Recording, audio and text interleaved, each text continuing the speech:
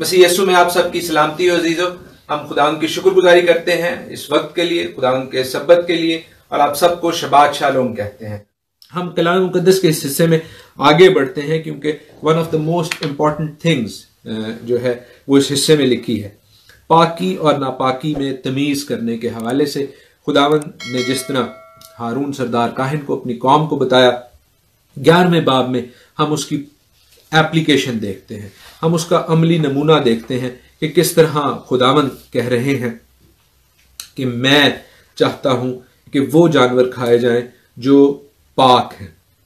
अब पाकी और नापाकी के हवाले से खुदावन जो बात बता रहे हैं दैट इज़ वेरी इंपॉर्टेंट याद रखें, शायद आपको इलम ना हो, कि पहले हज़ार साल जो थे दुनिया के, उस वक्त गोश्त नहीं खाया जाता था।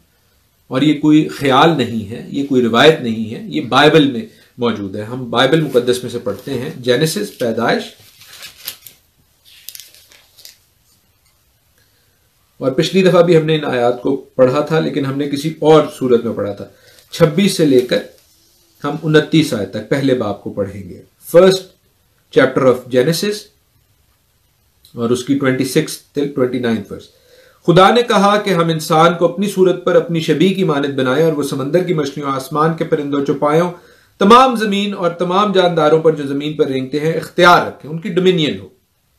और हम इस बात को पिछली दफ़ा देख रहे थे कि खुदावंद ने उसको इंचार्ज बनाया, लेकिन ओवरऑल इंचार्ज बॉस जो है, वो खुदा ही था, क्योंकि खुदा ने इंसान को अपनी सूरत पर पैदा किया, खुदा की सूरत पर उसको पैदा किया, नर नारी उनको पैदा किया, खुदा ने उनको बरकत दी, कहा कि फलो, बढ़ो ज़मीन को मामूर महकूम करो और समंदर की मछलियों, हवा के परिंदों, कुल जानवरों पर जो ज़मीन पर चलते हैं, इख्तियार रखो इख्तियार रखो। अगली आयत में खुदा कहते हैं कि देखो, मैं तमाम रुए ज़मीन की कुल बीजदार सब्ज़ी और हर दरख्त में जिसका बीजदार फल है तुमको देता हूँ, ये तुम्हारे खाने को है। खुदावंद ने सिर्फ़ सब्ज़ियाँ और फल खाने को दिए थे। लेकिन हम देखते हैं कि उसके बाद जब गोश्त खाने की इजाज़त कहाँ दी जाती है मेरे साथ देखें। जब नू का तूफ़ान खत्म होता है, नौवें बाब में, पैदाइश नाइन्थ चैप्टर जेनेसिस नाइन्थ उसकी वन टिल थ्री जो है हम, फिर उन्हीं आयात को जो भी हमने जेनेसिस वन में पढ़ी है खुदा रिपीट कर रहे हैं। और खुदा ने नूह और उसके बेटों को बरकत दी और उनको कहा कि बार बार बार हो और बढ़ो और ज़मीन को मामूर करो। और ज़मीन के कुल जान जानदारों और हवा के कुल परिंदों पर तुम्हारी दहशत और तुम्हारा रोब होगा। हम्म। ये और तमाम कीड़े जिनसे ज़मीन भरी पड़ी है समुद्र की कुल मछलियाँ तुम्हारे हाथ में की गई हैं। हर चलता फिरता जानदार तुम्हारे खाने को हो। अब यहाँ पे खुदा कह रहे हैं कि हर चलता फिरता जानदार तुम्हारे खाने खाने को होगा। तो क्या खुदा ने हर चीज़ के बारे में कह दिया था? नू को नहीं। उस वक्त भी पाक और नापाक जानवरों का कॉन्सेप्ट था। इसीलिए हम देखते हैं कि खुदावंद की जो ये नू के ज़रिया बनाई गई आर्क थी जो कश्ती थी उसमें हर जानवर जो है वो दो दो करके नहीं गए थे। नापाक जानवर दो दो करके गए थे लेकिन जो पाक जानवर थे वो साथ साथ करके गए थे। So there was distinction even at that time लेकिन यहाँ पर खुदावन ने कहा कि अब तुम उन गोश्त खा सकते हो लेकिन चौथी आयत बड़ी इंपॉर्टेंट है। क्यों? मगर तुम गोश्त के साथ खून को जो उसकी जान है ना खाना। मगर तुम गोश्त के साथ खून को जो उसकी जान है ना ना खाना। और यही बात हम एमाल के सोलवें बाब में भी देखते हैं। एक्ट्स चैप्टर 16 में जहाँ पर गैर कौमें जो हैं वो खुदा यसु मसीह पर ईमान लाती जा रही थी। और पॉलूस और बरनबास ने कहा कि जो जूस हैं यहूदी हैं, वो कह रहे हैं कि जी, जब तक ये ख़तना नहीं करवाएँगे, तब तक जो है, ये निजात याफ्ता नहीं है। तो पॉलूस ने कहा कि कई दफ़ा ये बात करने से लोग जो हैं, वो डर जाते हैं। तो हमें आप बताएँ कि किस तरह हम इस चीज़ को हैंडल करें। तो याकूब और योहन्ना और पत्रस जो यरूशलेम में मौजूद थे पंद्रहवें बाब में अमाल के पंद्रहवें बाब में हम देखते हैं एक्ट फिफ्टीन में कि वो ये फैसला करते हैं कि जो गैर कौमों में से खुदा की तरफ़ रुजू होते हैं हम उनको तकलीफ़ ना दें मगर उनको लिख भेजें कि बुतों की मकरूहात और हरामकारी और गला घोटे हुए जानवरों और लहू से परहेज करें। और ये बातें जो है फ़ौरन करें बाकी बातें जो है वो आहिस्ता आहिस्ता सीखते जाएँगे कि लेकिन लहू से परहेज करना। और गला घोटे हुए जानवर से क्यों? क्योंकि ऐसे जानवरों का खून ड्रेन नहीं किया जाता था। और खून में चूँकि ज़िंदगी होती है, खून में ज़िंदगी है, खून को इब्रानी में दाम कहते हैं। तो जब तक जान है उसमें, आप जान किसी की नहीं खा सकते तो खुदावंद की इस हुक्म को पैदाइश से लिया गया, तोरेत ही से लिया गया। उनको ये नहीं कहा गया कि आप तोरेत को या खुदा के कलाम को रद्द कर दें, बल्कि उनको तोरेत ही में से चार जो इंपॉर्टेंट तरीन चीज़ें थी वो कहा कि फ़ौरन बताई जाए। और फिर इस इन बातों का ज़िक्र जो है वो लिविटिकस 17 और 18 में भी है बार के सत्रहवें और अठारहवें बार में भी है। जब हम वहाँ पर पहुँचेंगे हम उसके हवाले से भी सीखेंगे। सो so, अहबार के ग्यारहवें बाब में हम देखते हैं कि बड़ी सफ़ाई के साथ खुदावंद बताते हैं कि किन जानवरों को आप खा सकते हैं और किन को नहीं खा सकते। पाक जानवर किस तरह उनका तयन किया जाता है कि जिन जानवरों को तुम खा सकते हो वो ये हैं कि, कि जिनके पाँव अलग और चिरे हुए हैं और वो जुगाली करते हैं। यानी जिनके पाँव के हुव्स हैं जो कि सेपरेट हैं और जो जुगाली भी करें। Both things them you can eat जुगाली करना और वो साफ़ बताते हैं जो जुगाली करते हैं जिनके पाँव अलग हैं कि ऊँट को ना खाना क्योंकि ऊँट जुगाली तो करता है वो अपनी फ़ूड दोबारा च्यू तो करता है लेकिन उसके पैर चिरे हुए नहीं है। और साफान को वो जुगाली करता है उसके पाँव अलग नहीं है। वो भी तुम्हारे लिए नापाक है। और खरगोश को क्योंकि वो जुगाली तो करता है पर उसके पाँव अलग नहीं है। वो भी तुम्हारे लिए नापाक है। और सुअर को क्योंकि उसके पाँव अलग और चिरे हुए हैं लेकिन वो जुगाली नहीं करता।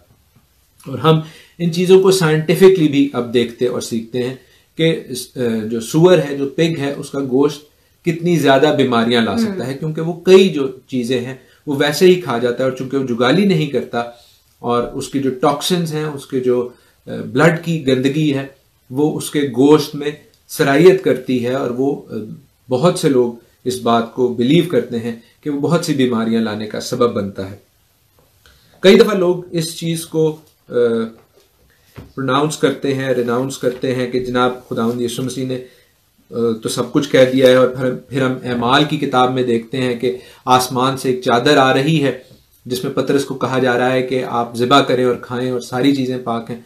तो याद रखें अजीज़ों, वहाँ पर उस रोया की, उस विजन की जो इंटरप्रिटेशन है, वो बड़ी वाज तौर पर वहीं पर दे दी गई है। पीटर, पत्रस ने वहीं पर कह दिया कि ये परिंदे, चिरिंद परिंद, ये जानवर, ये रींगने वाले जो थे, वो दरअसल लोगों को ज़ाहिर करते थे। वो असल में नहीं थे और ना ही उसने वहाँ पर ऐसा किया कि उसने किसी को जबा किया और खाया। वो वहाँ पर, उसके बाद गैर कौम वालों के पास गया, जिनको लोग नापाक समझते थे। कोयनॉस कहते थे उन्हें और उनके पास जाकर बना दी की। इसका यह मतलब हरगिज नहीं है कि उसने वहाँ पर इन चीज़ों को खा लिया। और अगरचे खाने पीने के हवाले से ये जो बातचीत है that is not salvation based निजात से इसका ताल्लुक नहीं है। लेकिन नजात याफ्ता ज़िंदगी से और फर्मा बरदारी से खुदा के कलाम की खुदा के आयन की, अहकाम की फर्मा बरदारी से इसका ज़रूर ताल्लुक है। और हम इसको हरगिज जो है, वो रिजेक्ट नहीं कर सकते। कुछ बहन भाइयों ने पूछा है, क्या लिवर खाया जा सकता है? क्योंकि इसमें तो सारा खून होता है। इसी तरह लोग, जो लोग, लिवर या किडनीज खाते हैं उनके हवाले से भी याद रखें कि कुर्बानी में ये चॉइसेस पार्ट होता था और खुदावन को ये दिया जाता था। लोग जो खाने का हिस्सा होता था, वो निकाल गोश्त में से निकाला जाता था। इसको क्यों खुदावन को दिया जाता था? ऑफ़ कोर्स इसलिए कि इसमें खून होता था और इसको खाना जो है, अगर कोई बीमार नहीं है, बीमार जो हो उनको डॉक्टर्स कहते हैं, लेकिन अगर आप बीमार नहीं हैं और शौकिया खा रहे हैं तो I don't think you should eat it इसलिए इसको नहीं खाना चाहिए। क्योंकि उसमें खून होता है। सो so, हम खुदावंद की शुक्रगुजारी करते हैं इस बात के लिए भी कि खुदावंद अपने पाक कलाम से ना सिर्फ़ हमारी रहबरी और रहनुमाई करते हैं बल्कि हमारी सेहत का हमारी ज़िंदगी का भी ख्याल रखते हैं।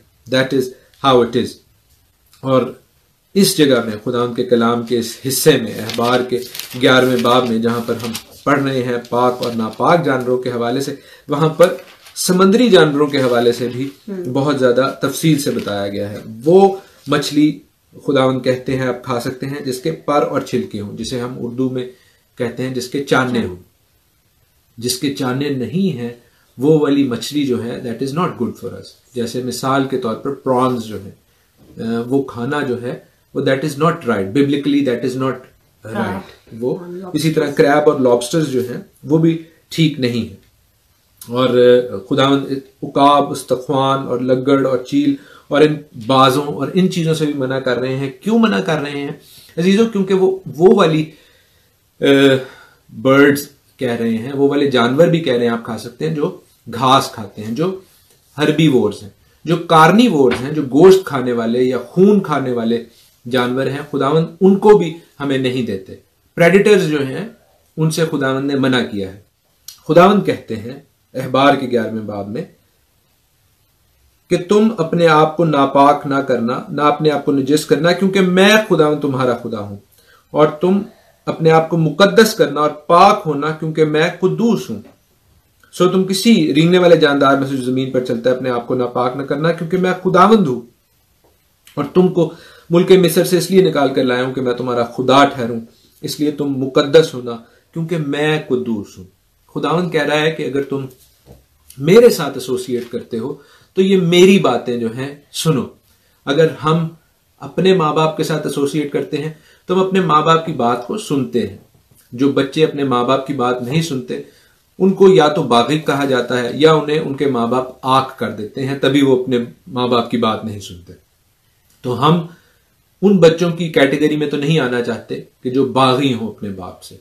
और हम बागी कैसे हो सकते हैं? हमारी क्या औकात है? वो जो बादशाहों का बादशाह है, उसने इतनी मोहब्बत की कि उसने अपने इकलौते बेटे को दे दिया ताकि जो कुछ उस पर ईमान लाए, हलाक ना हो और हमेशा की ज़िंदगी पाए। और उस बेटे ने भी ऐसी कमाल ताबेदारी की बात की और ऐसी कमाल मोहब्बत दिखाई हमसे कि उसने सलीब पर अपनी कीमती जान दे दी। मार खाई, अपने मुँह पर थुकवाया, सर पर कांटों का ताज पहना, पीठ पर एक कम चालीस कोड़े खाए, हाथों में, पैरों में कील थुकवाए पसली में नेजा खाया तो क्या इस बात पर हम उसके साथ आर्ग्यूमेंट करें हुज्जत करें कि हमें, हमारी जबान के जायके के लिए हम नापाक चीज़ें खाते रहेंगे? इसका निजात से क्या ताल्लुक है? अजीजो sometimes we got to look beyond निजात sometimes we got to look beyond salvation sometimes we got to look beyond the legalistic bits कई दफ़ा हमें प्यार और मोहब्बत में बाप की, आसमानी बाप की, खुदावंदों के खुदावंद की बात को सुन लेना चाहिए। इसलिए कि वो हमारा बाप है और उसे हमारी फ़िक्र है। याद रखें, कि जब हम उसकी बात को मानते हैं तो हमें बरकत तो मिलती ही मिलती है, लेकिन एक बाप का दिल कैसा शाद होता है। ये आप में से जो पेरेंट्स हैं, जो वालदेन हैं, वो इस बात को समझेंगे कि जब बच्चे उनकी छोटी सी बात को मान लेते हैं तो माँ बाप का दिल खुशी से भर जाता है। और हम जो आसमानी बाप के बेटे और बेटियाँ होने के एजाज को हमेशा उसको क्लेम करते हैं अगर हम अपने आसमानी बाप की बात को प्यार से मोहब्बत से मानेंगे यकीन मानिए कि उस बाप का दिल खुशी से भर जाएगा। क्योंकि जब लोगों के दिलों में बुराइयाँ थी हम जेनेसिस में पढ़ते हैं चौथे बाब में कि खुदावंद इंसान को बनाने से मलूल हुआ। उसका दिल जो है वो दुखी हुआ। इब्रानी में जो वर्ड वहाँ पर यूज़ हुआ हुआ है दैट शोज़ कि उसको जिस तरह हिचकी लग जाती है, जिस तरह आप रोते हुए हिचकी बन जाती है। खुदा का दिल उस नरम दिल है। खुदा का दिल जो है वो अपने बच्चों से प्यार करने वाला दिल है। ही हैज़ क्रिएटेड अस उसने अपने हाथों से हमें बनाया है। और हम उसके लोग और उसकी चरागाह की भेड़े हैं। याद रखें वी गॉट टू बी सब सर्वियंट टू हिम बेशक उसने हमें तमाम दुनिया पर मामूर और महकूम होने का हुक्म दिया है but the boss is God जो इन ओवरऑल इंचार्ज है, वो हमारा खुदा ही है। और वो इन सब बातों के लिए, अज़ीज़, याद रखें कि इन सब बातों की जजमेंट के लिए बहुत जल्द आने वाला है।